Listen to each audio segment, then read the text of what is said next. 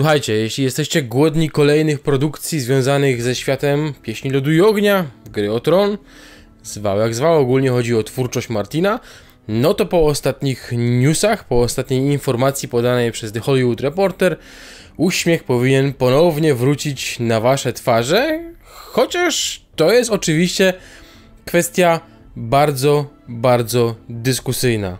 Wraca Jon Snow, wraca Kit Harington, tak przynajmniej wynika z tych pogłosek.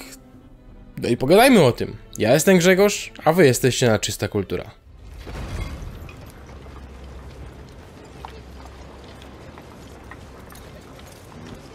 Ze wspomnianych informacji wynika, że HBO pracuje nad sequelem gry o Tron, e, takim serialem, którego centralną postacią miałby być właśnie Jon Snow, jego przygody. Oczywiście w Jona Snowa miało się wcielić Kit Harington, tak jak to miało miejsce w klasycznym serialu, w klasycznej sadze. Mm, no i wydaje się, że całkiem spoko, prawda? Informacja super, oczywiście przedstawiciele Kita jeszcze tego nie potwierdzili, e, ale wydaje się, że coś faktycznie jest na rzeczy i dla mnie super, bo Jon Snow to moja ulubiona postać, jeśli chodzi o serialową e, sagę, ale też w książce całkiem daje radę. Więc e, no, pierwsza moja reakcja to była taka, że się uśmiechnąłem i pomyślałem sobie, super, w końcu fajnie, że HBO chce grać tą trochę starą kartą, ale jednak postaciami, które już mają jakiś fanbase, aktorami, e, którzy rozkochali w sobie widownię, więc to jest potencjał, wydaje się, na prawdziwy samograj. No ale jest też druga strona tego medalu. You know nothing. No ale hola hola, zanim o tej drugiej stronie medalu, to porozmawiajmy chwilę o tym, jak wątek Johna Snowa został zakończony w klasycznej serialowej sadze. Oczywiście nie mamy finału książkowego, więc tutaj to wcale się nie musi pokrywać jeden do jednego serial i książkowy oryginał, jeśli tego kiedykolwiek się jeszcze doczekamy. No bo jak wszyscy dobrze pamiętamy, Jon Snow i jego zwieńczenie serialowej serii było po prostu schrzaniony. No niestety, taka jest prawda, nic z tym nie zrobimy. I o ile przez wiele, wiele sezonów był on prominentną postacią, w tych ostatnich sezonach też był prominentną postacią, ale niestety coraz głupszą. No to nie jest oczywiście jakaś przypadłość dotycząca tylko Johna, wiele postaci stawało się po prostu głupimi, ich dialogi były głupie, ich rozwinięcie było głupie, i widać było, że twórcy nie bardzo bez e, książki mają pomysł na to, jak je poprowadzić, na przykład e, Littlefinger, na przykład Varys, na przykład właśnie też John. No bo od początku mamy tak, że John jest przedstawiany jako człowiek północy, ten, który jest tam za murem, stawia zagrożenie, które nadchodzi, które finalnie ma mieć ogromne znaczenie, a nie ma tak naprawdę żadnego i teasuje nam się przez wszystkie sezony, że to właśnie on będzie walczył na końcu z Nocnym Królem. Albo przynajmniej jakoś będzie próbował dać mu e, odpór, prawda? Być może jakaś finałowa walka. No ale niestety, mimo tego, że John e, wiedział o Nocnym Królu najwięcej, że miał okazję gdzieś tam stanąć z nim powiedzmy oko w oko, to za dużo powiedziane, no ale miał jakby styczność, prawda? Hardhome, bitwa na zamarzniętym jeziorze, miał walyriańską stal. Wszystko to układało się w jakąś naprawdę fajną całość, no ale koniec końców John z Nocnym Królem nie powalczył, tego zabiła Arya, a on skończył po prostu krzycząc na lodowego smoka. No okej. Okay. What? Oh, I'm serious. No ale po tym odcinku, po bitwie pod Winterfell można powiedzieć, no okej, okay, dobra, to może jednak Johna czeka coś więcej, w końcu wiemy już o tej jego prawdziwej tożsamości, wiemy, że jest synem Liana i Regary, że R plus L równa się J, prawda? Wow, teoria super się sprawdziła. Wszyscy są oczywiście zadowoleni, no bo teraz John jako prawowity następca tronu na pewno na pewno coś z tym zrobi, na pewno zostanie jakoś w ten sposób potraktowany, żeby koniec końców to zakończenie było dobre. No ale oczywiście nie właściwie do samego końca, on jest tam tylko po to, żeby podbić kosę pod żebra Daenerys e, i tyle. I ta jego spuścizna nie ma finalnie żadnego, absolutnie żadnego znaczenia, bo wiecie, John nie chce i... No jak nie chce, to nie chce, no co zrobić, prawda? Co zrobić? Trzeba Brana rzucić na tron, Sansę na północ, a Johna odesłać za mur. I ja wiem, i ja wiem, niektórym ten motyw Johna podróżującego za mur i tam ma sobie eksplorować, prawda, no coś ma sobie eksplorować, ale wiadomo, on jest takim człowiekiem północy, przedstawiany jest właśnie cały czas.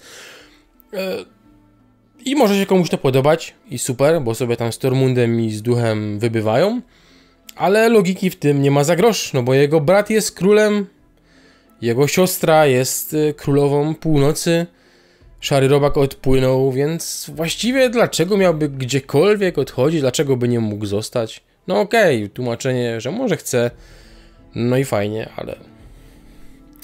Ja wiem, jakoś to tak wszystko bez ładu i składu. No i po rozczarowaniu tym finałowym sezonem Gry o Tron cieszę się bardzo, że wracamy na taką ścieżkę, gdzie to martinowskie uniwersum będzie eksplorowane. Mamy House of the Dragon, lada minuta, lada dzień startujące. Zapowiada się fajnie, wygląda nieźle na zwiastunach, no i widać, że tam HBO chce iść śladem powiedzmy tych innych światów, Star Wars, wielki świat, są seriale, e, Marvel, przez całe MCU, pojawiają się seriale. Harry Potter tego nie robi, szkoda, bo moim zdaniem to jest świat z ogromnym potencjałem, gdzie jakieś takie seriale właśnie z różnymi przygodami różnych czarodziejów z różnych czasów by super siadły, ale nie o tym. No i fajnie, że gra o tron, że ten powiedzmy cały świat pieśni lodu i ognia chce iść w tym kierunku. No ale właśnie tutaj wkraczamy do tej drugiej strony medalu. No bo widzicie, fajnie, że taki serial ma powstać. Tak wynika przynajmniej z tych ostatnich informacji. Ale obawą jest, o czym ten serial miałby traktować. Czy. Widzę tu takie dwie opcje. Pierwsza to jest oczywiście ta eksploracja przygód Johna za murem, tam sobie z Tormundem i duchem przeżywają jakieś akcje, może jakieś zło tam się znowu nieodkryte budzi na dalekiej północy, a może to John w jakiś sposób staje się zły, a może to ma być jakaś taka po prostu przygodowa historia, jakiś tam case wymyślony.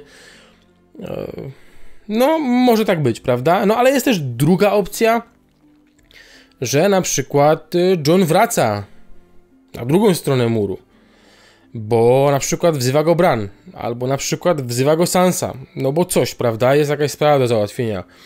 E, królestwom grozi jakieś nowe zagrożenie i John jest potrzebny. I wydaje się, że ta druga opcja jest dużo ciekawsza, bo pozwala eksplorować trochę też znane miejsca, więc fajnie to gra e, na wyobraźnię widza. E, no ale obawa jest związana z tym, że tu nie mamy absolutnie żadnej podstawy literackiej i z jednej strony fajnie, bo można popuścić wodze fantazji i wymyślać sobie w ramach tego martinowskiego świata, tych lokacji geograficznych, tych imion, bohaterów, e, całkiem nową historię. No ale z drugiej strony ostatnie sezony Gry o Tron pokazały, że to wcale nie jest takie łatwe, e, a wręcz e, wzięcie się za bary z taką historią, z takim światem, to jest dość trudny przypadek, jak widzimy też po innych serialach nie wszystkie seriale MCU dają radę, o Star Wars nie wspomnę, bo no, bywały lepsze i gorsze momenty, więc tutaj także trzeba byłoby to sobie fajnie wyważyć. To zagrożenie oczywiście słabego, leniwego czy po prostu kiepskiego pisarstwa jest poważne, więc y, po pierwsze fajnie jakby wzięli się za to ludzie doświadczeni, ludzie z dorobkiem, i super, jakby na przykład w tym partycypował sam George R. R. Martin, e, który mógł tę historię jakoś w miarę wiarygodnie e, rozpisać. No w końcu kto jak kto, ale on o tym swoim świecie wie najwięcej. To by oczywiście sprawiało, że pewnie miałby mniej czasu na inne projekty, na przykład na wichry zimy, no ale to już jest jakby poboczny absolutnie temat. Więc ja się tymi plotkami cieszę, widzę zagrożenia, bo tak naprawdę ciężko stwierdzić, o czym dokładnie ta historia mogłaby być. John na przykład jednak mu się coś odwidziało i chciałby tron e, odzyskać. To by w ogóle był super ekstra fabularny twist. Nie przypuszczam, ale ze wszystkich takich scenariuszy, jakie powiedzmy są na stole, które sobie rozpatruję, ten by był chyba najciekawszy. Oczywiście musiałby zdobyć jakieś mega poparcie, ale kto wie, a może zostanie jakimś nowym nocnym królem? Kto wie? Tak czy siak, ja się cieszę. Wiem, że są zagrożenia. Wiem, że to wcale może nie być takie łatwe, bo John za murem, to nie wiem, czy to jest taki mega wdzięczny temat na, na cały serial, ale kto wie, Kit Harrington Więc to od razu jest magnes na fanów. Dajcie znać, co wy o tym myślicie, jak wy byście poukładali tą historię, co byście chcieli tam zobaczyć.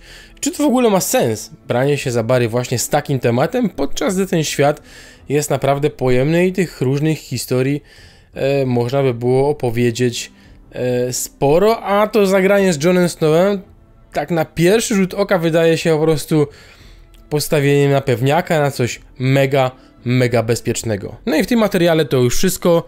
Ja się z wami żegnam. Są posty specjalne, gdzie możecie zadawać pytania przed naszym Q&A. Już ich jest kilkadziesiąt, więc super, bardzo fajnie.